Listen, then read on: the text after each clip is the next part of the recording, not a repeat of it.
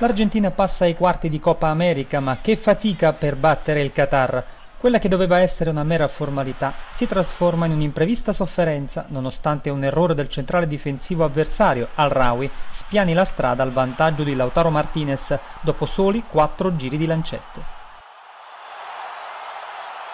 Al di là di tutto Messi e compagni si salvano per effetto del contemporaneo successo della Colombia che sconfigge di misura il Paraguay garantendo la qualificazione all'Albiceleste.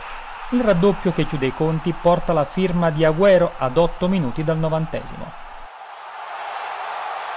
Pur conseguendo l'obiettivo i calciatori allenati da Scaloni danno l'impressione di essere stanchi ed abulici, per molti di essi davvero le brutte copie ammirate nelle squadre di club, Messi incluso.